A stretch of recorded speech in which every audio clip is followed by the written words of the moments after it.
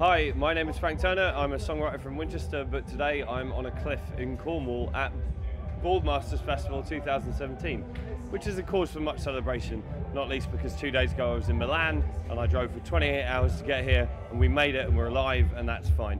Um, Boardmasters is lots of fun. I played here before in 2000 and um, I can't remember. It was 2008, 2009, something like that. Played a solo show here. I've got my band, the Sleeping Souls, are here today. Uh, we're on the main stage at half six. It's going to be a lot of fun.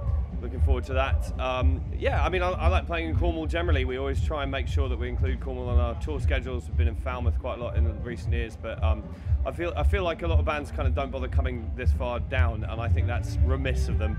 So we're trying to correct that. Um, today, in particular, um, this morning I was I met I was kind of woken up by a couple of people from the um, Cornish Language Association who have translated one of my songs into Cornish and also taught me about Cornish conceptually as a language and you know the history and who speaks it and all that kind of thing.